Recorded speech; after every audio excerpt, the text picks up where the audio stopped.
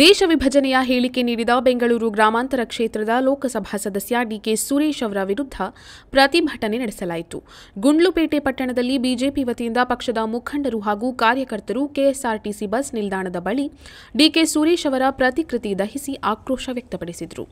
ಈ ವೇಳೆ ಮಾತನಾಡಿದ ಯುವ ಮೋರ್ಚಾ ಜಿಲ್ಲಾಧ್ಯಕ್ಷ ಪ್ರಣಯ್, ಕೂಡಲೇ ಡಿಕೆ ಸುರೇಶ್ ಅವರನ್ನ ಸಂಸತ್ ಸದಸ್ಯ ಸ್ಥಾನದಿಂದ ವಜಾ ಮಾಡಬೇಕೆಂದು ಆಗ್ರಹಿಸಿದರು.